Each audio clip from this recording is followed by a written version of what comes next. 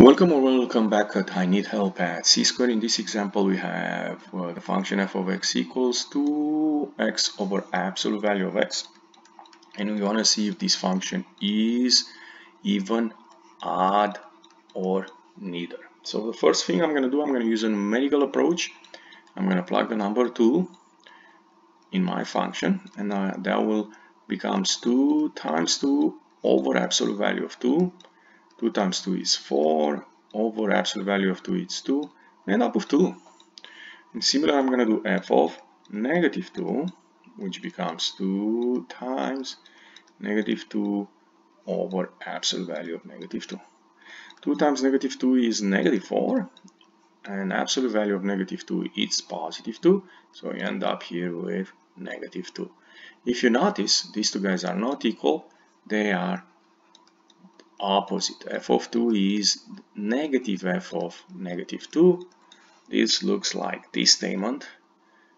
We call this function odd. We can use a algebraic process and do f of negative x and in this case we have 2 times uh, negative x over absolute value of negative x and this becomes negative 2x over absolute value of negative x is the same of absolute value of x. So f of negative x is negative 2x over absolute value of x. If we look to these two expressions, we notice they are not the same. In fact, they are opposites.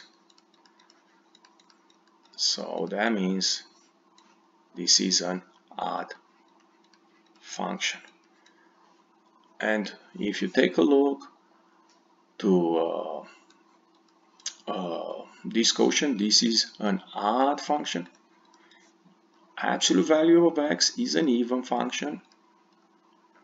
And a quotient of odd and even will always give you odd. And we can see that also in the graph. I use a TI calculator.